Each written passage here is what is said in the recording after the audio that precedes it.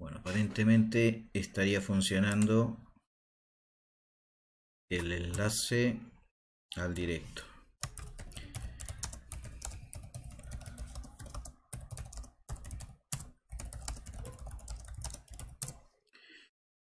Si se escucha y se ve bien, hacen el icono de me gusta.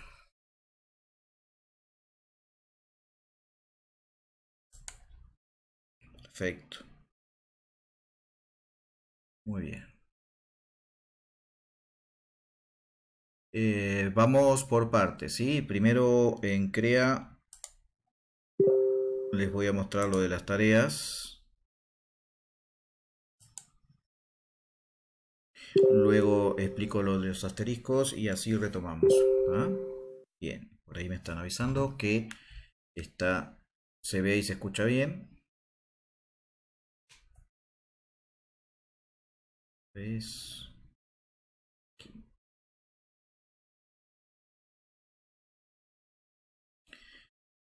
Si eh, a Benjamín le dice que el video no está disponible, entonces le indico los pasos. Si a ustedes les llega a pasar esto,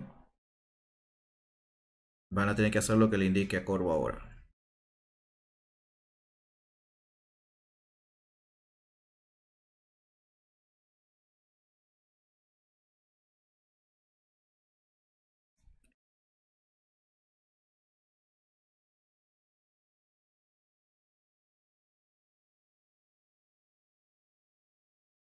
Ok, Víctor.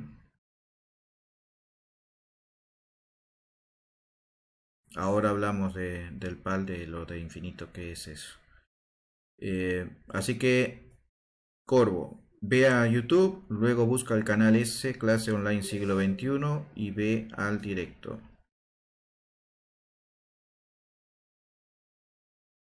Con respecto a lo que dice el compañero Videla, eh, el PAL 2 se hace un intento la primera vez y luego la segunda vez se hace cuando se termina el tema. Por eso no son dos intentos solamente. Digo del, PAL, lo que es la, evaluación esa. En el caso de la Segunda Guerra Mundial, el módulo 3 que estamos ahora, ustedes tienen este, el PAL 2, ¿sí? Que hicieron un intento y em, si alguno faltó ese día lo podrá hacer, ¿ah? pero tiene solo un intento. Y cuando termine de dar el tema, va el segundo, habilito el segundo intento para que mejoren. ¿ah? Pero solo lo hace aquel que le haya ido mal, ¿verdad? Este, si te fue bien, sacaste un 12, no tenés por qué hacerlo de vuelta.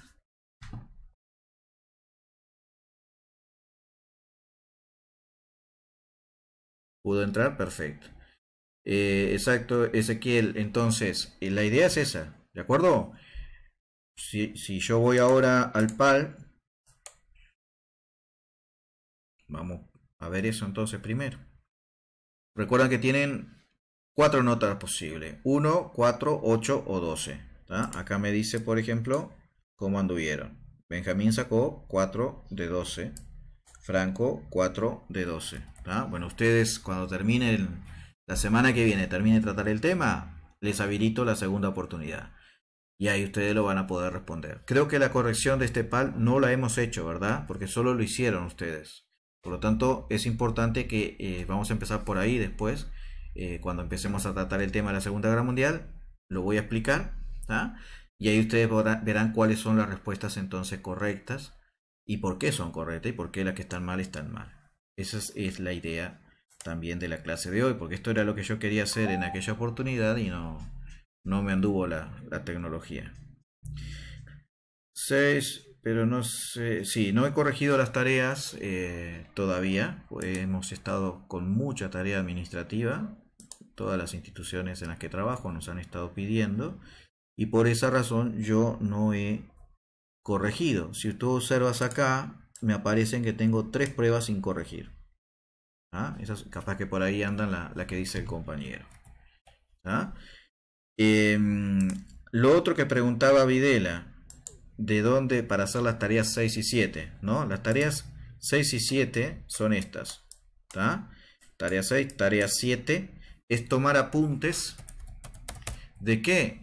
de este libro que está acá. Ese es el libro. ¿Ah? Está en CREA. Cuando tú entras a CREA, se carga el archivo PDF. Esto creo que lo pueden descargar. Creo que lo puse también en el canal de Telegram, si no lo coloco. Eh, tiene como unas 300 páginas, si no me equivoco. Ustedes, aquí donde va el número de página, que empieza cargando la 1, eh, tienen que ir a la página 116, si no me equivoco. A ver, déjenme ver. Si es así. Sí, es así. La página 116, si tú la escribís acá y vas hacia abajo, sería en el libro la página 114. Eh, y déjame ver, entonces esa es la 117. Esta es la página 115. Debe ser 107 entonces. Vamos a ver. Ustedes lo que tienen que hacer es leer desde la página 105, que es esta que está acá, ven, página 105. Si ustedes van hacia arriba, resulta que la página 105 que empieza con este título, la Segunda Guerra Mundial, las alianzas internacionales, ¿qué pasa? Si vos vas arriba, resulta que es la página 107. Es decir, tenés que escribir acá 107 para que te lleve directo a la página 105 del libro. Y tenés que resumir de la 105 a la 115. ¿ah? Eso es lo que tenés que resumir. Después de este mismo libro, tenés que resumir la página 116 em, a 120. En la tarea 6 es de la 105 a la 115. La tarea 7 es de la 116 a la 120. Eh, ¿De qué tratan esas, esas páginas? Bueno, lo muestro. En la tarea 6 es apuntes generales sobre la Segunda Guerra Mundial. Me interesa acá que ustedes cuando la respondan, acá está, dice tienen que ser 400 palabras, me digan, bueno, cuándo empezó la guerra, quiénes participaron, qué características tuvo, eh, cuáles fueron sus fases, sus etapas, es importante eso, cómo terminó, toda esa información la sacan de ese libro, ¿de acuerdo? No de ningún otro libro ni video, de ese libro. Cuando yo corrija, voy a ver si hicieron el resumen correctamente. Y esto que está acá, que yo decía que está pintado de amarillo, es para que tengan una idea aproximada de lo que son esas 400 palabras, de lo que sería un documento de 400 palabras. Ustedes pueden usar un procesador de texto, ¿verdad? Y de ahí eh, saber cuántas palabras son. Esto es una lectura cualquiera, no tiene nada que ver con lo que estamos dando. Lo puse a modo de ejemplo. La tarea 7, que sería resumir las otras páginas de la 116 a la 120. También son 400 palabras y acá hay que hacer énfasis en que en esas páginas hay información sobre la tecnología aplicada en la Segunda Guerra Mundial. ¿Ah? Bueno, esto, muchachos, yo lo había pedido ya hace tiempo. ¿ah? Ustedes tenían que hacerlo. Tengo acá la tarea para corregir de Franco, que me la mandó Dávila. Después tengo corregida de algunos de ustedes, pero por ahora la única que me falta corregir es de Dávila ahí. ¿Ah? Aclarada esa duda, paso a explicar lo otro. Para el compañero Corvo, ¿qué es eso de los asteriscos? Eh, yo tengo la planilla de primero BB, a ver, déjenme ver. Primero BB2 informática.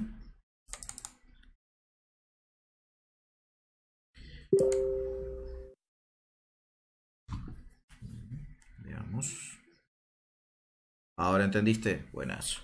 En esta planilla están los, los horarios de ustedes. ¿Ah? cuando vamos participando. Yo ya depuré la lista de CREA, me falta depurar esta con las personas que han exonerado, digamos, que tienen eh, justamente liberado historia. Si a aumentar un poquito. Acá están los asteriscos. Esto ahora va a aumentar alguno según como ustedes participen. Yo pongo una cruz que le llamo asterisco, ¿no? Y en función de eso me da la nota del oral. Y lo otro que les quería mostrar es que cuando vengo aquí abajo, ¿sí?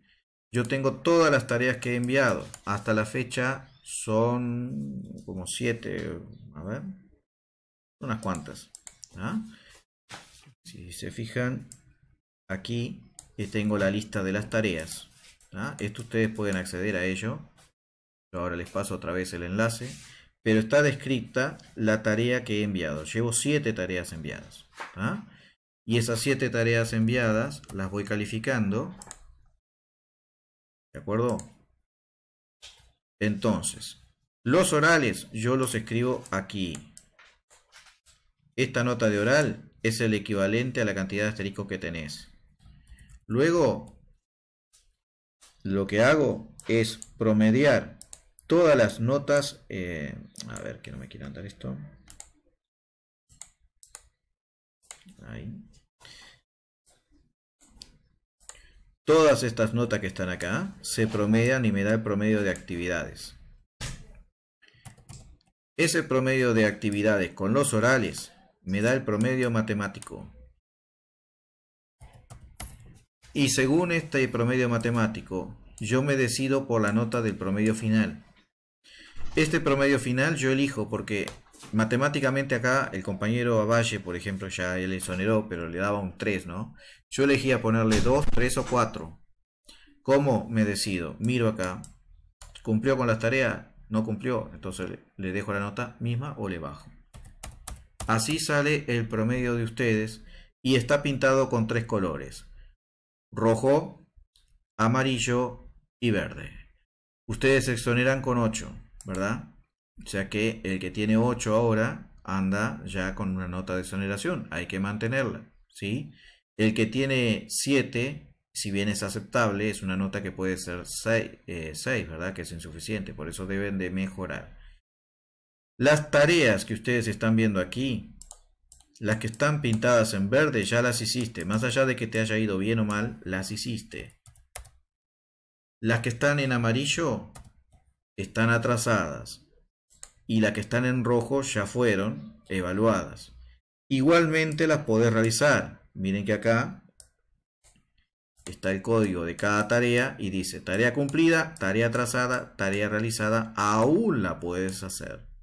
¿Ah? O sea que yo que ustedes cuando tenga tiempo me pongo a hacer las tareas que me falten, porque el día que me pidan promedios, que no va a estar muy lejos, porque pienso que yo que más allá de mayo, capaz que me están pidiendo algún promedio, una vez me pidan promedio ya esto que está aquí, de las, este promedio ya no lo pueden cambiar y esto tampoco. ¿ah? O sea que hasta ahí es el plazo para hacer las tareas. ¿Sí? Así que consejo ponerse las pilas lo que no hayan realizado. ¿Entendieron esa parte?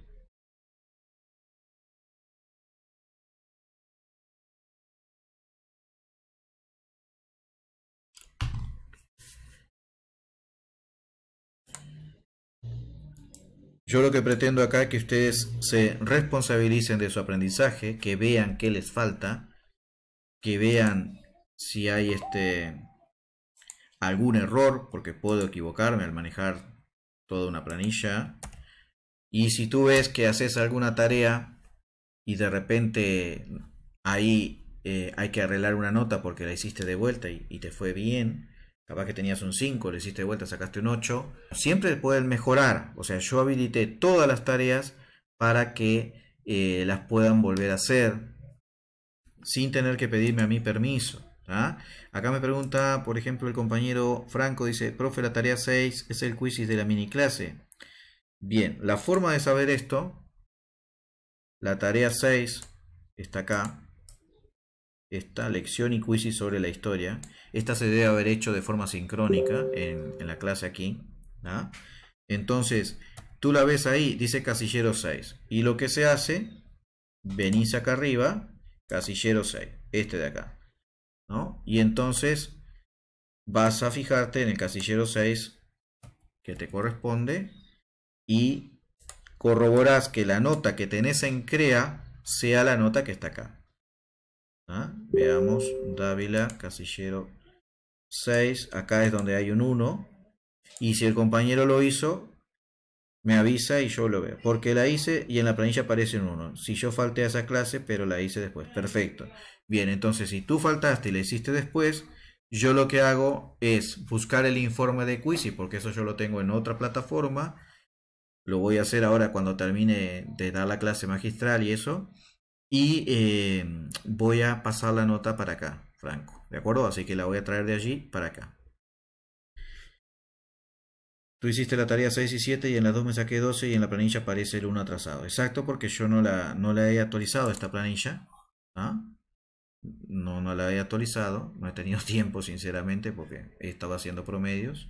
Recuerden que tengo 57 horas docentes y es imposible a veces con... Nos están pidiendo más, más trabajos administrativos y yo soy bastante organizado, entonces trato de, de ir haciéndolo así de forma bastante sistemática. Cuando esté el promedio pronto acá y esté todo esto yo lo haya corregido, actualizado, voy a escribirles acá arriba, ¿sí? va a decir promedios actualizado a tal día, tal hora, ¿ah? para que sepan que hasta ese momento yo subí todo. Si vos hiciste algo después, seguramente no va a estar aquí, ¿ah? porque o no está corregido o está corregido pero no está subido. De esa forma ustedes en tiempo real saben cómo van conmigo eh, si está actualizada la planilla. Obviamente ahora no lo está. Yo me comprometo el día de hoy a actualizar esto. ¿ah? Bien, si eso se entendió, volvemos a la clase. Acá. Al PAL. Que hicimos el, el trabajo, pero no hicimos la, la evaluación. Bien.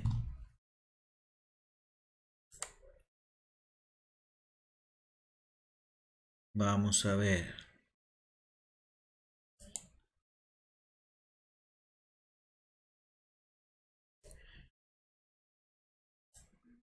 Porque esta corrección, tengo entendido, no la hicimos. ¿Ah? Así puedo agrandar un poquito para que se vea el texto. Ahí, ahí se ve. No sé si la leen más o menos del dispositivo.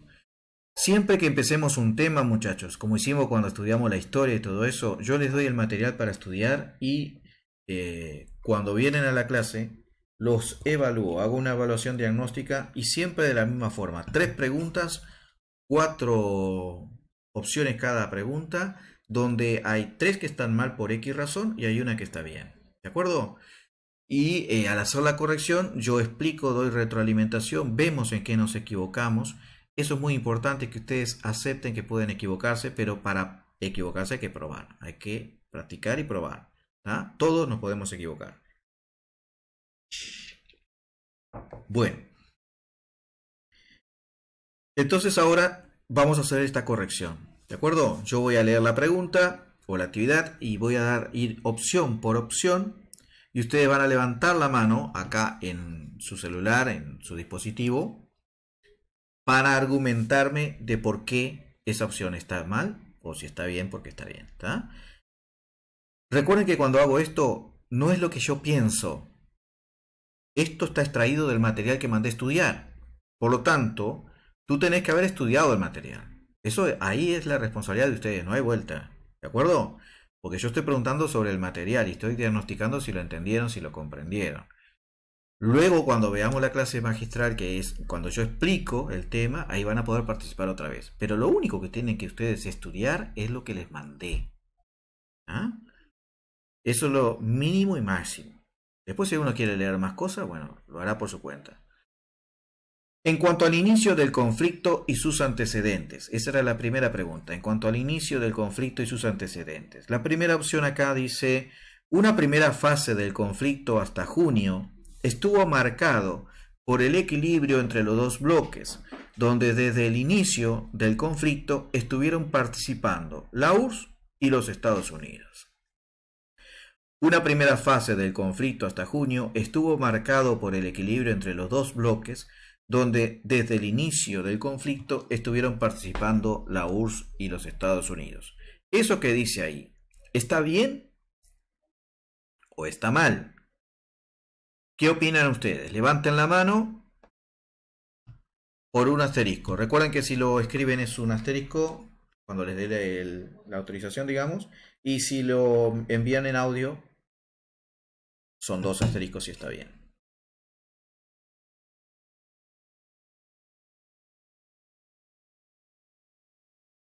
Bien, acá tengo dos manos levantadas. El primero que levantó, no sé, no me está apareciendo el nombre. Capaz que en una de esas ponen después, levantan la manito y ponen el nombre, ¿de acuerdo? Porque por alguna razón acá no, no me aparece. Eh, el primero que levantó la mano, ¿quién es? Veamos, Alexander. Alexander, tenés eh, la palabra. Podés escribir o enviar un audio. Y después es Franco Dávila. Vamos a escuchar primero a Alexander y luego a Franco.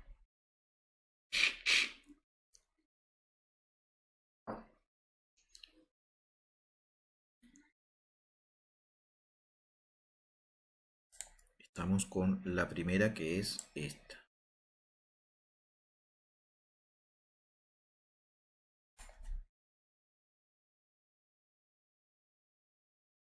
Bien, el compañero envió un audio, vamos a escucharlo. La primera está mal porque el supuesto equilibrio entre los dos bloques se da en la segunda fase, porque la primera fase era la guerra relámpago. Y ahí nombra Estados Unidos, pero Estados Unidos no entra, todavía no entraba en la primera fase de la guerra. Bueno, muy bien, vamos a ver ahora, Franco Dávila, podés enviar tu audio o escribir.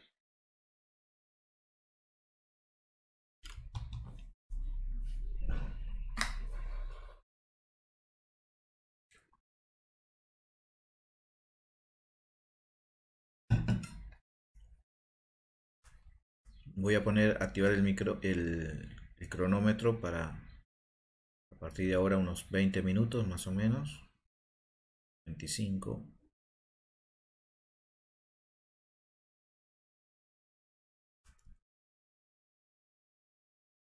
A ver el audio del compañero. Eh, está mal porque Estados Unidos no estuvo desde el principio de la guerra, entró tiempo después. Bueno.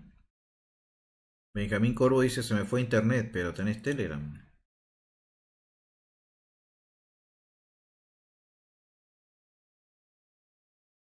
Bueno. Esto está siendo grabado, así que no hay problema si, si él pierde la, la conexión.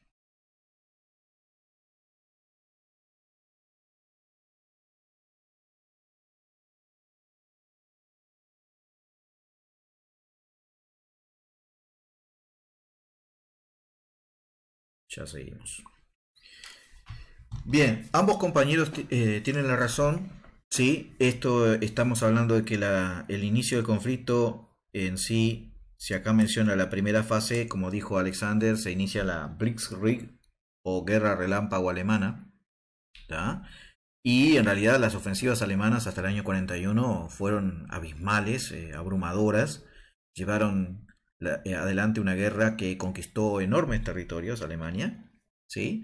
Por lo tanto hubo un gran desequilibrio, sorprendió muchísimo a los aliados el, gran avance alemán, o sea que esto de equilibrio está mal, y a su vez, como mencionan los compañeros, la URSS y los Estados Unidos, ninguno de los dos participó en esta etapa, al menos eh, eh, peleando entre ellos, ¿verdad? Es decir, la URSS, si bien participa, no es contra Alemania, Alemania y la URSS habían firmado un pacto secreto, eh, un pacto de, no agresión que tenía cláusulas secretas, en la cual se incluía el reparto de Polonia y por lo tanto eh, la URSS participa adueñándose de una porción de ese territorio. Pero en realidad va a ser atacada por Alemania en 1941 y eh, los Estados Unidos lo mismo, va a empezar la guerra después del ataque japonés de Pearl Harbor el 7 de diciembre de 1941. O sea que ninguno de los dos está eh, participando activamente o en el bando de los aliados. O sea que esta opción estaría mal. La otra opción dice, los países que se opusieron a Alemania e Italia fueron eh, Francia, Inglaterra y Rusia junto con Estados Unidos en 1941. Esta opción dice los países que se opusieron a Alemania e Italia fueron Francia, Inglaterra y Rusia junto con Estados Unidos en 1941. ¿Esa opción está bien o está mal? Por supuesto, cuando ustedes respondan, si agregan información, mejor va a ser la nota. En el caso de los compañeros, les voy a poner a los dos que enviaron audio, ¿sí? dos asteriscos. Entonces yo lo que hago, vengo acá arriba, vengo a donde está Alexander, aquí, y pongo 1, 2. Y vengo donde está Dávila, está aquí, 1 y 2. ¿De acuerdo? Volvemos a crear.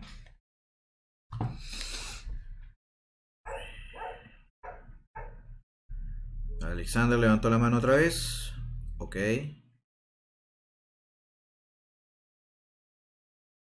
Ustedes, por supuesto, mientras yo voy explicando los temas y todo eso, siempre es conveniente ir tomando sus apuntes.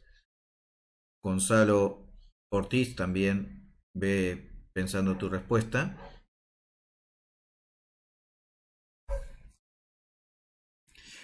En lo posible siempre eh, argumenten, ¿verdad? Digan por qué está bien y pueden agregar información.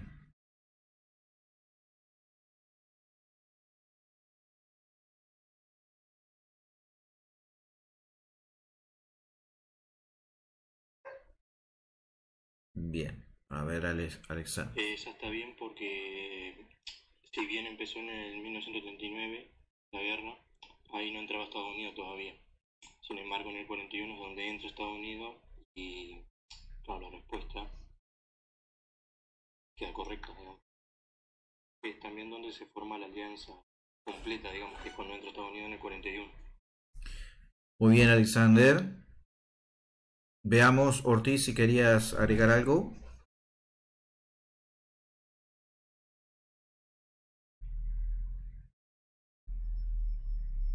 ¿No?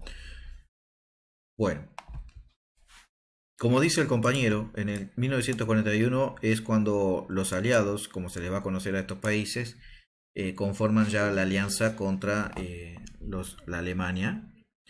Ezequiel, adelante, te doy la palabra.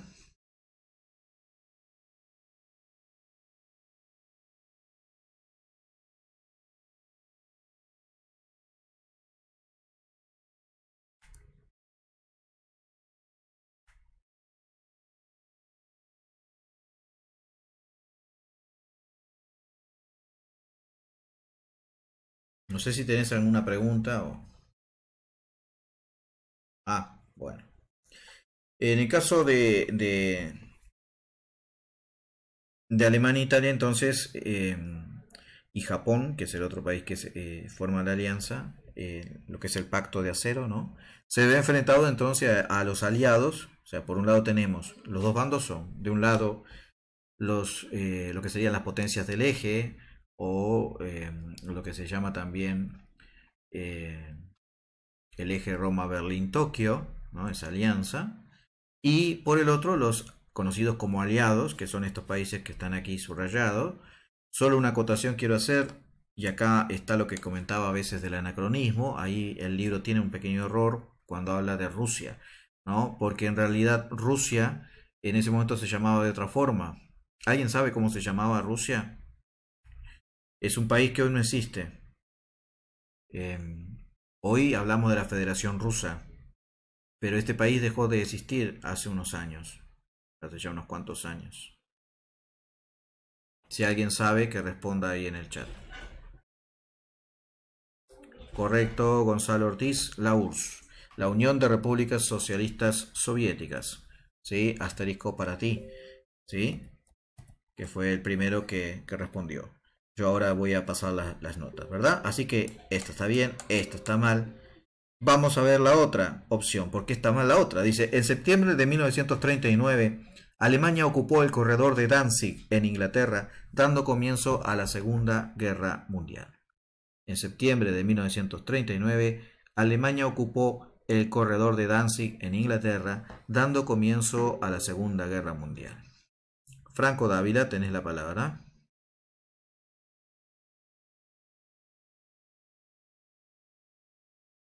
Yo mientras voy a ir colocando los asteriscos anteriores, así no me olvido. Aquí era para torales.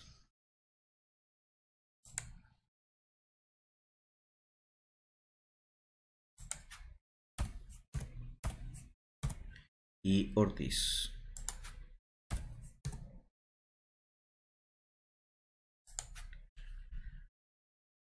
Veamos. Eh, está mal porque el corredor de Danzig está en Polonia y no en Inglaterra. Correctísimo, exactamente, muy bien. El corredor de Danzig era un territorio que eh, pertenece a Polonia. Si hiciera un pequeño mapita aquí y esto fuera Alemania, ¿sí? Y esto fuera Polonia. Polonia y Alemania. Acá está la ciudad de Danzig que menciona, ¿sí? Y como ven, el, eh, lo voy a hacer con otro color. Esto que estoy señalando en verde es el llamado corredor, porque cuando terminó la Primera Guerra Mundial, este territorio se lo dieron a Polonia para que tuviera una salida al mar, ¿sí? Pero ¿qué pasó? Este territorio es de Alemania también. Entonces, Alemania para, quedó separada, quedó dividida ¿sí? por este corredor. Y Hitler pretendía, intentó en algún momento, construir un ferrocarril a lo largo para unir el territorio alemán que estaba separado con derecho a esta territorialidad que le llaman, es decir, que rigiera la ley alemana ahí. Eh, fue un pretexto en realidad porque acá había alemanes, pero también había partes de Polonia donde había alemanes, ¿no? Entonces eso no, nunca lo quiso Polonia. Y la excusa alemana fue que había sido atacado por, los polacos y por eso ella ataca a Polonia. Y del otro lado los soviéticos van a hacer lo mismo, porque el tratado secreto decía que había que dividir Polonia, cada uno en sus porciones, y Polonia va a desaparecer como está. Eso va a ocurrir en, la, en el inicio de la Segunda Guerra Mundial en 1939. Bien, así que correctísimo lo del compañero Franco Dávila. Eh, no sé si te puse el asterisco, Dávila. Déjame ver.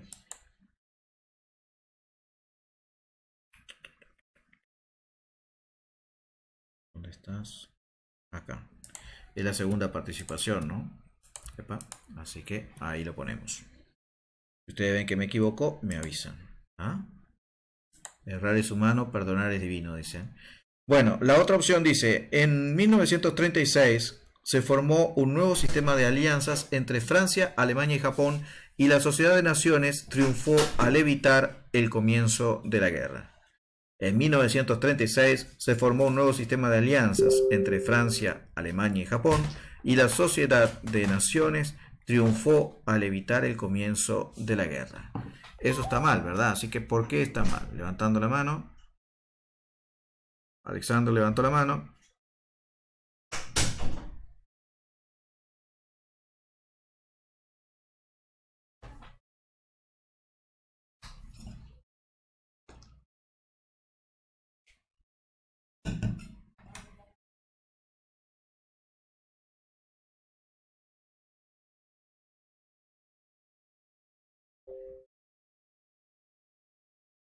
Solo con leer la respuesta está mal, porque en el 36 ni siquiera había iniciado la guerra, ni siquiera se había formado alianza, así que en sí está mal que nombra a Francia, Alemania y Japón, siendo Francia de la alianza y Alemania y Japón del otro bando.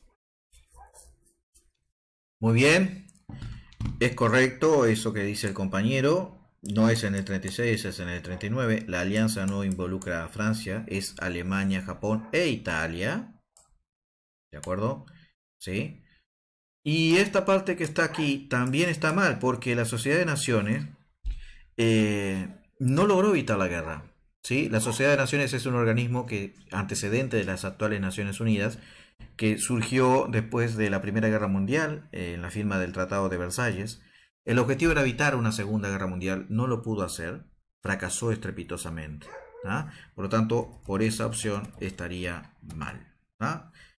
Así que, como ven, esta es la dinámica que vamos a aplicar para trabajar, porque como ven, eh, yo les propongo actividades en donde hay que pensar, hay que razonar, ¿sí? Le va a generar tal vez alguna duda, y la forma de evacuar esas dudas es habiendo estudiado, habiendo estudiado el material que se, que se envió. Paso a la siguiente pregunta. Ya te puse ahí los asteriscos, ¿verdad? Respecto de la tecnología y el final del conflicto. Respecto de la tecnología y el final del conflicto. Dice, el cohete B-2 alemán tenía un propulsor a reacción, transportaba una bomba atómica y tenía un alcance de 300 kilómetros. El cohete B-2 alemán tenía un propulsor a reacción, transportaba una bomba atómica y tenía un alcance de 300 kilómetros. Recuerden, si yo no estudié, esto es japonés para mí, por eso es importante que hayan estudiado. ¿Alguien más además de Alexander? Si no le doy la palabra al compañero.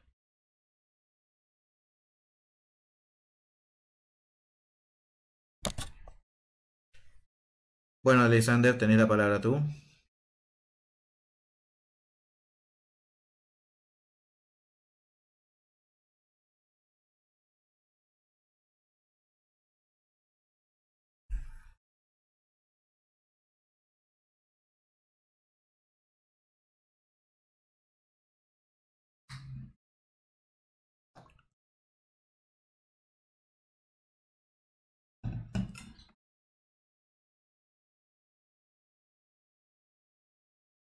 Veamos. Eh, está lo correcto que llevaba un cohete, el B2, pero no, no, eran, no transportaba una bomba atómica, pero estaban demasiado cerca de una.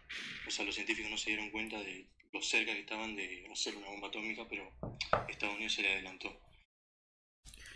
Muy bien, tu respuesta es correcto. El cohete alemán llevaba una turbina, ¿sí? Es el primer cohete que sale al espacio, ¿no? Tiene una increíble velocidad, no lo podían detener. El anterior, el B-1, ¿sí? Era una bomba también teledirigida, por lo menos em, se la apuntaba y, más o menos bastante precisa, pero eh, era mucho más lenta y los cazas, eh, los bombarderos, o mejor dicho, los bombarderos no, los cazas, los, los aviones de combate ingleses podían ubicarla y destruirla en el vuelo el cohete B2 no, no es un, prácticamente un misil que era impredecible de dónde, e, en qué momento iba a, caer porque no, no, había forma de detenerlo, ¿no? Era un avance tecnológico impresionante. Y como dice el compañero, no transportaba la bomba atómica. El sueño de Hitler era lograrla y, poner una bomba para lanzarla y ganar la guerra. Estuvieron muy cerca, como dice el compañero, exacto. Hubo eh, algunas operaciones militares de los aliados eh, al estilo comando para sabotear el proyecto alemán de, desarrollar la bomba atómica. Y, es cierto que por ahí aparece eh, un alcance de 300 kilómetros. ¿no? Eran lanzados desde el norte de París, en Francia y Bélgica, y caían en Londres. Cerca de 3.000 a 4.000 personas murieron producto de los ataques de alemanes con la, con la bomba B2. La B es por venganza. ¿sí? Era la bomba que, conocida como la bomba de la venganza que quisieron usar los alemanes. Así que esta opción está mal. La otra opción dice, la máquina Enigma, ahora te pongo los asteriscos, ¿sí? no me vaya a olvidar. La máquina Enigma era de origen inglés y servía para codificar los mensajes de los británicos a fin de que no fueran descubiertas, descubiertos por los alemanes. La máquina Enigma era de origen inglés y, servía para codificar los mensajes de los británicos a fin de que no fueran descubiertos por los alemanes. ¿Qué piensan de eso? ¿Está bien? ¿Está mal? Gonzalo. Gonzalo, tenés la palabra.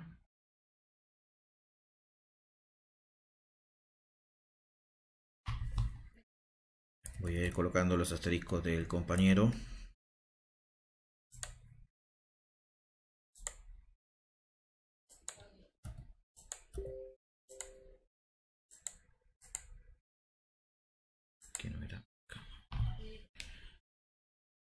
Bien, dice Gonzalo, la máquina Enigma fue un invento alemán. Es correcto, eh, Gonzalo no era inglés, era alemán.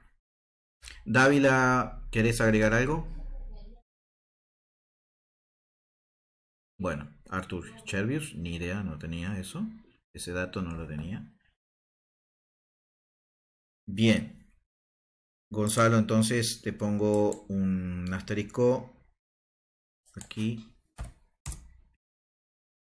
y otro por que mandaste, mencionaste que era ese hombre. Tenía lo mismo, Franco. Bien. Pregunto. Pregunta del 12. ¿Cómo es que los ingleses pudieron combatir la máquina Enigma? ¿Qué hicieron? ¿Cómo descifraron? ¿Cómo pudieron descubrir los mensajes de los alemanes? ¿Tienen idea? Es la pregunta por un 12. En este caso, eh, Corvo, cuando yo hago la pregunta del 12 y la responden bien, tienen cuatro asteriscos si lo hacen correctamente. La pregunta es, ¿cómo los ingleses lograron descifrar el código enigma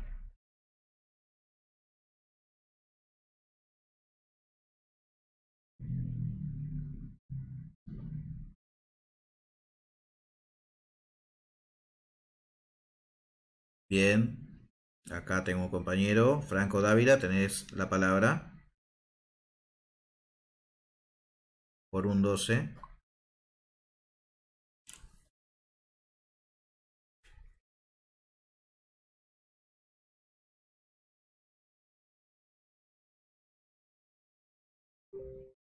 Veamos. Eh, fue con una máquina similar que descifraba los códigos. Está cerca. ¿Cómo se llamaba esa máquina?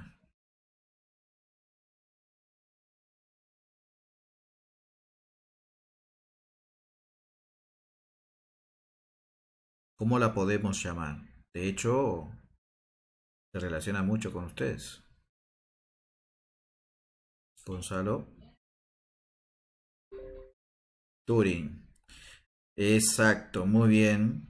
Alan Turing es el creador, eh, para muchos es considerado como el padre de la computadora moderna, ¿no? Fue el que desarrolló el software, el programa, ¿no? El bombe. Mm, creo que no. Sí, este, Alan Turing es el inglés que el ingeniero que trabajó en el desarrollo de, de un programa informático y de una primera computadora moderna eh, básicamente permitió descifrar los códigos alemanes. Además de que esa, creo que sí, Colossus, no me acuerdo bien, creo que sí. Eh, exacto, Benjamin. Eh, básicamente él, él logró de esa forma anticiparse a los, a los alemanes, ¿no? Y de esa forma descifrar los códigos. Bueno, acá ve que cuando es un 12 pongo cuatro asteriscos. ¿Ah? Y eh, esta entonces está mal. Y esta está mal. También ayudó el capturar después más adelante una máquina enigma alemana. Eh, y de esa forma podían saber qué planes tenían. Imagínense si estoy en una guerra y yo sé exactamente por dónde me va a atacar el enemigo, qué intenciones tiene, lo espero tranquilo, ¿verdad? Puedo prepararle una emboscada y todo eso. Bueno, paso a la tercera opción. Durante la primera fase fue llamada Guerra Relámpago. Durante la primera fase, llamada Guerra Relámpago, el submarino fue el elemento principal para las victorias alemanas. Durante la primera fase, llamada Guerra Relámpago, el submarino fue el elemento principal para las victorias alemanas. Veamos, Cantero. A ver, déjenme ver. Cantero Luis, tenés la palabra.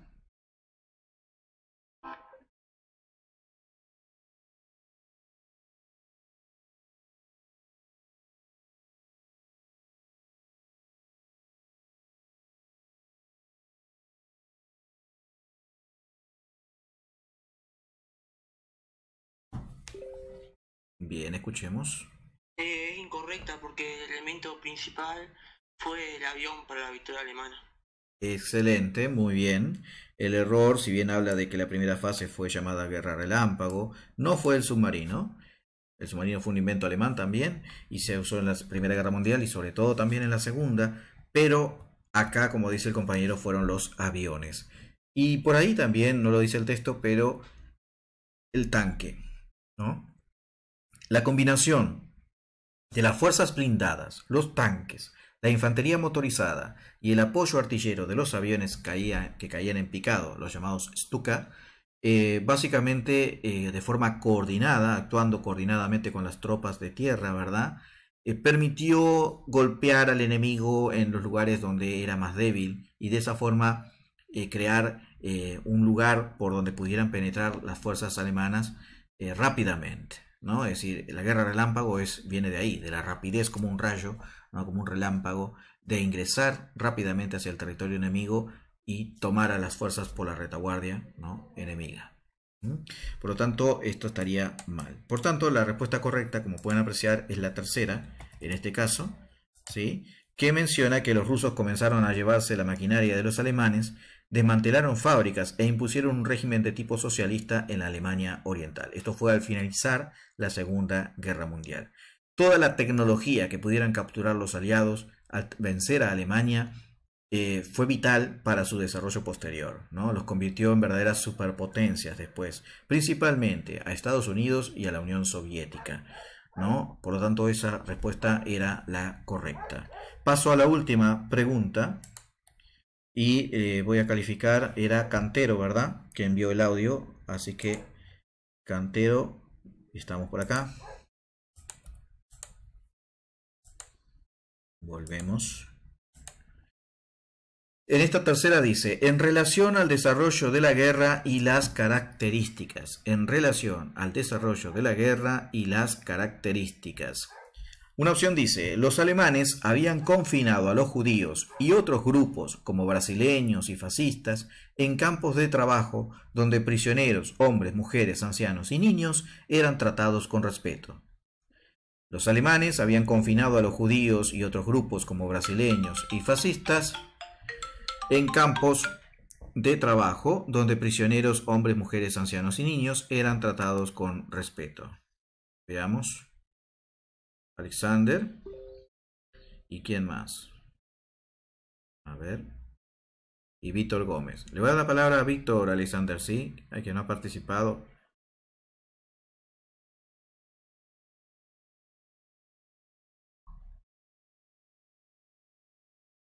Así todos tratamos de, que todos puedan llegar a, tener orales. Tú vas muy bien, eh, Torales.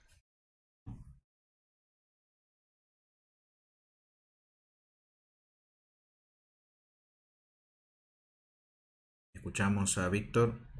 Esa está mal porque en realidad las personas eran maltratadas y las enviaban a trabajos pesados. Muy bien. Uh, Ezequiel, ¿querés agregar algo?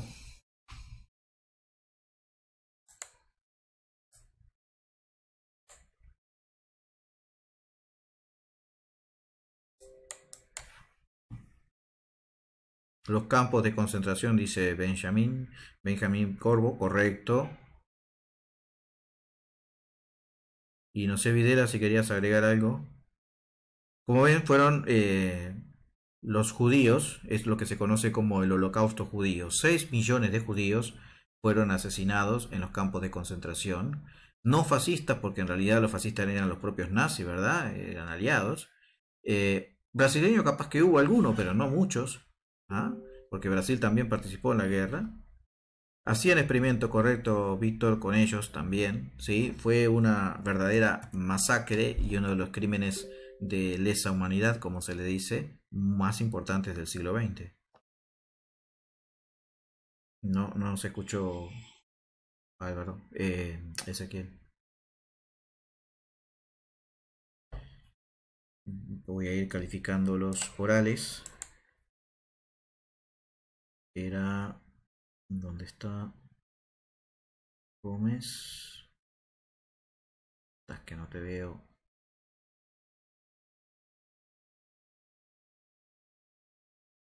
Tienes horarios, por eso no te veía. Voy a anotarte acá.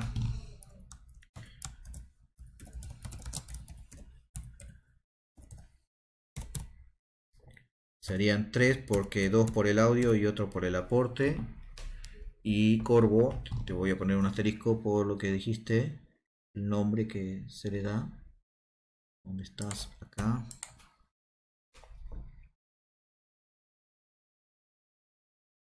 Bueno, seguimos entonces.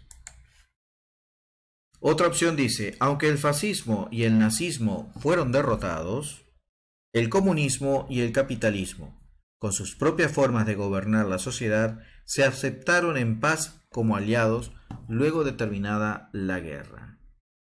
Aunque el fascismo y el nazismo fueron derrotados, el comunismo y el capitalismo, con sus propias formas de gobernar la sociedad, se aceptaron en paz como aliados luego de terminada la guerra. Alexander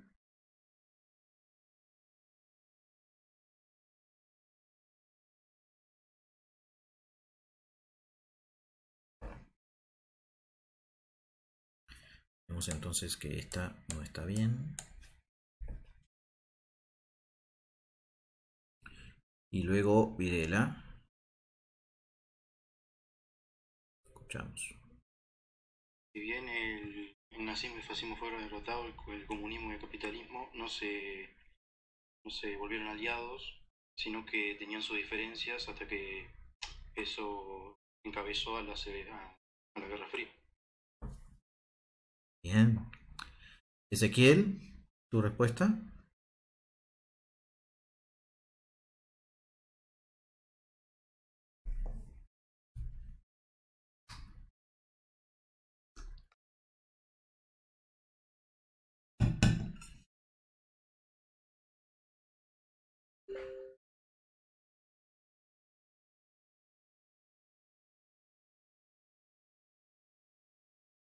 Por razones de tiempo, la idea es que mm, participen ahora máximo dos capaz.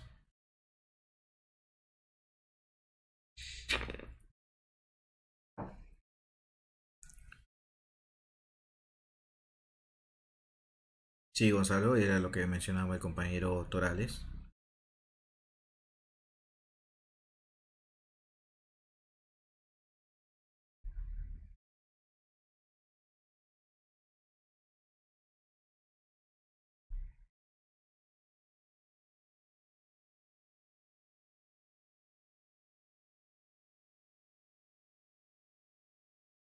Ahí llegó.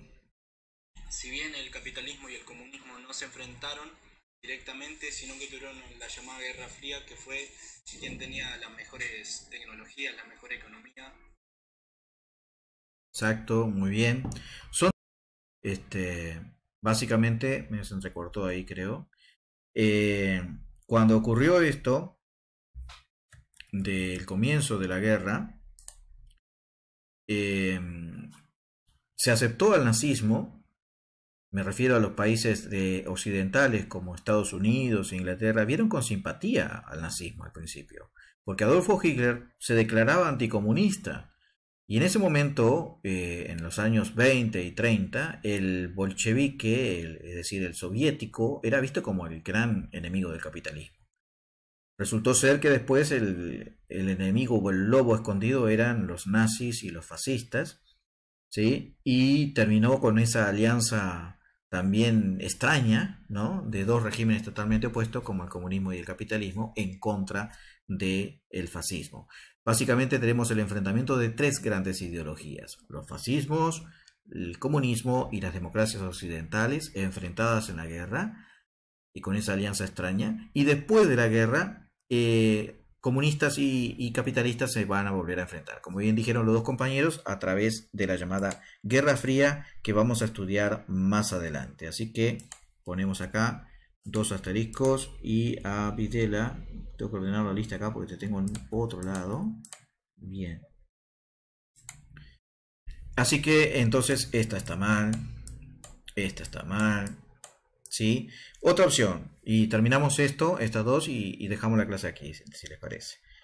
Los soldados japoneses creían que era mejor rendirse ante los estadounidenses que ser muertos en combate, a diferencia de los soldados alemanes. Los soldados japoneses creían que era mejor rendirse ante los estadounidenses que ser muertos en combate, a diferencia de los soldados alemanes. Veamos entonces, el primero que levantó la mano es eh, Alexander, pero te lo voy a dar a Víctor que tiene pocos orales, ¿de acuerdo? Y luego, si quieres agregar, Alexander, alguna cosa, no hay problema.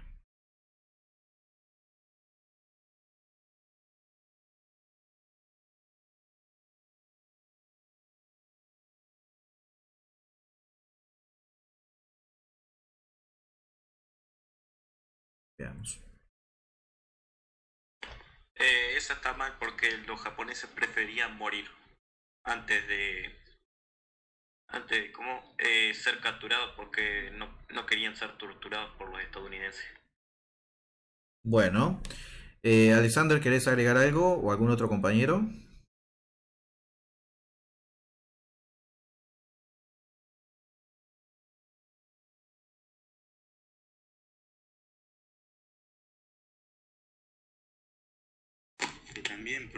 Los japoneses, donde aparecían los kamikaze, que eran básicamente como suicidas. Excelente, muy bien, los dos. Eh, los soldados eh, japoneses eh, realmente eran fanáticos, ¿de acuerdo? Habían jurado fidelidad al emperador japonés y darían su vida por él. Y de hecho fueron adoctrinados en que ellos también, como dicen los compañeros, eh, a través de los vuelos kamikaze, podían matarse en, ese... eh, no había problema que al morir, digamos, iban a ir al cielo, ¿no? Eh, o sea, que iban a ir al paraíso. Eso era lo que les, eh, el verso que les daban a, lo- a los pobres jóvenes japoneses cuando los adoctrinaban, ¿no? Además utilizaban el famoso código samurái, ¿no? Por lo cual ellos nunca se entregarían al enemigo, preferían morir. Eh, era famosa la carga de, eh, llamada la carga Banzai, cuando los japoneses cargaban contra eh, la infantería, ¿no? Con bayonetas y con sables de samurái los oficiales. Y eran tal el ímpetu, el ímpetu que tenían ellos que era casi imposible a veces detenerlo con, con dos o tres disparos de revólver, ¿no? A veces el japonés se, se- seguía vivo y si llegaba a unos metros tuyos te, te daba con el sable. Y la espada de samurái saben que corta, impresionante, ¿no? Tanto es así que los oficiales norteamericanos preferían usar un arma con la, como la Col, eh, la, la eh, calibre 45, ¿m? que es un arma de alto poder explosivo, y la preferían porque al dispararle eh, lo tiraba hacia atrás unos cuantos metros al, japonés, ¿no? Y otro ejemplo es cuando, cuando los oficiales japoneses preferían hacer el harakiri, ¿no? Que era el suicidio, ¿no? Se clavaban una espada y se abrían el vientre y otro le cortaba la cabeza, ¿no? Ese era el típico suicidio de los oficiales japoneses. Si bien habían fanáticos alemanes, también como las SS alemanas, no llegaron nunca al extremo de los japoneses de preferir eh, la muerte. No porque fueran a ser torturados por los americanos, porque eso en realidad, si bien hubo casos de violaciones de los derechos humanos por parte de ambos bandos, eh, por lo general los americanos eh, preferían tenerlos vivos a los japoneses y extraerles información. En algunos casos puede darse, haberse dado también la tortura, es cierto, pero no era la práctica común, al menos eh, en el frente del Pacífico. Lo común era que no encontraran japonés vivo, ¿no? porque todos se, se, mataban. Por último, queda como entonces como respuesta correcta, la que pueden apreciar acá. A ver si bajamos. Dice la RAF británica, o sea, la Real Fuerza Aérea Británica, los pilotos ingleses, se sobrepuso a la ofensiva aérea alemana, logró localizar a los Messerschmitt mediante la tecnología del radar. Cantero tiene la palabra y luego Gonzalo.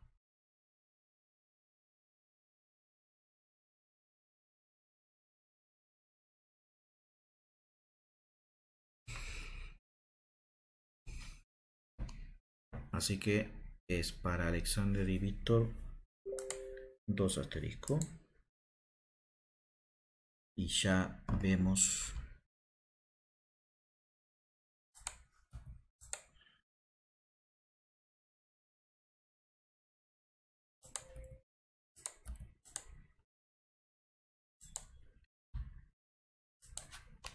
Escuchamos. Que esa sí sería la correcta y gracias a eso que la raza sobrepuso, eh, Hitler no pudo obtener la victoria. Muy bien. La resistencia británica fue realmente asombrosa. En determinado momento eran los únicos que estaban en guerra con Alemania haciéndole frente. ¿no? El gran león británico, Winston Churchill, ministro británico, decía en su momento en su discurso, venceremos, lucharemos en las playas, en las montañas, en los desiertos, en el mar, jamás, jamás nos rendiremos. Y eh, obviamente el imperio británico era el imperio más grande en su momento, tenía millones de personas eh, bajo su mando y por lo tanto reservas humanas como para hacer una guerra bastante extensa. El plan de Hitler, apodado León Marino, que era el objetivo de invadir Gran Bretaña, requería, porque había que invadir este, por mar, ¿verdad? Eh, Gran Bretaña es una isla, requería el dominio aéreo. Cualquier intento de invadir las islas británicas sin el apoyo aéreo iba a fracasar. Por eso se dio la gran batalla de Gran Bretaña, una batalla aérea y justamente es el avance del radar, una invención inglesa, lo que permitió justamente detectar los vuelos alemanes, por dónde venían, cuántos eran, cuáles serían sus posibles objetivos y de esa forma enviar las fuerzas necesarias para hacerle frente a estos alemanes. No sé, Gonzalo, si querías agregar alguna cosa, eh, si no, eh, esa sería la respuesta correcta. Entonces, esta de aquí y estas tres mal.